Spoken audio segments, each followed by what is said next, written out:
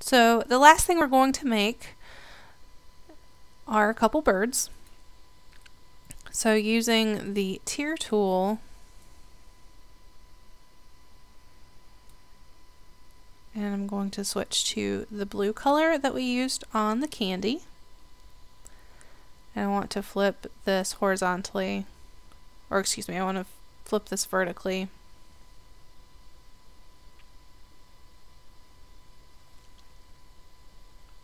Using the node tool again, just play around until you get the shape that you would like for your bird. Using the pen tool, create the feet for the bird. Just change the stroke to an orange. Going to increase the size of the stroke and then add on a couple points. And then I'm going to move move the foot up to the bird, rotate it a little bit. If they look a little big, you can always scale it down, which I actually think I'm going to for mine. And then duplicate. And rotate again, just slightly. And you can leave these so that they are layered in front of the bird. but you can also move them behind, which is what I typically do. And then using the triangle tool, want to create the beak, turn the stroke off. So you could leave the beak just like this.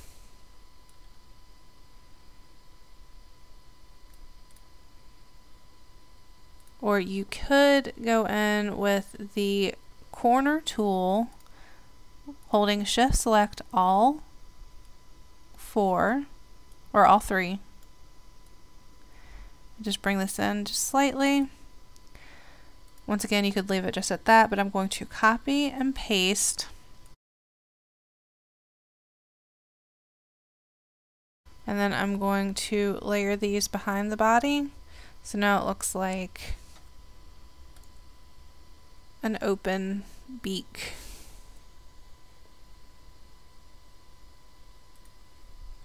And then to add in eyes, I'm just going to do an oval and white. Going to switch this and then turn the stroke off. And then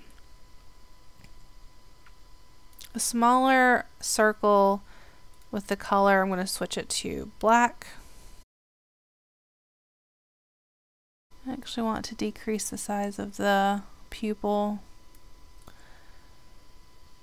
And I'm going to rotate. Okay, going to make the pupil a little bit bigger. And this is looking a little crooked right now, so I just want to rotate everything. And using the ellipse tool, I'm going to copy and paste, rotate. I want to move this over. And then the one that you rotated, copy and paste and flip horizontally.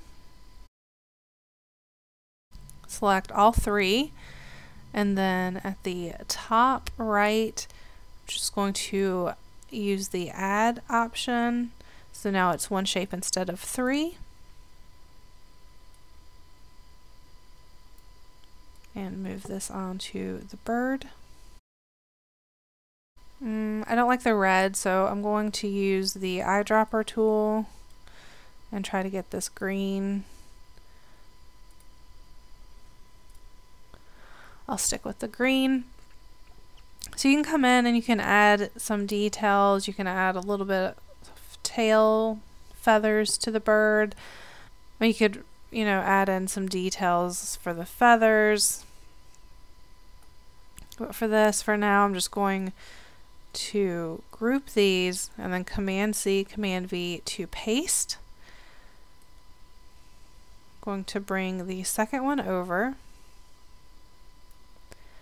and then flip horizontally.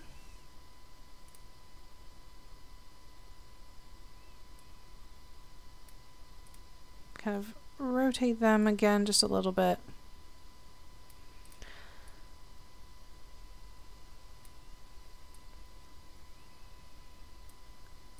And with the second bird, I'm going to ungroup,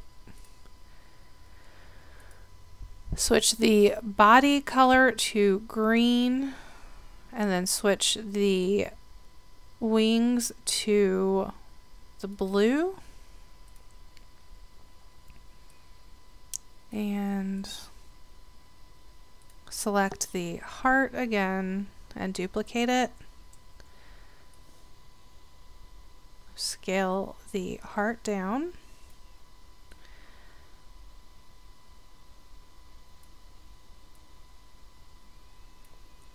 And duplicate it a few times.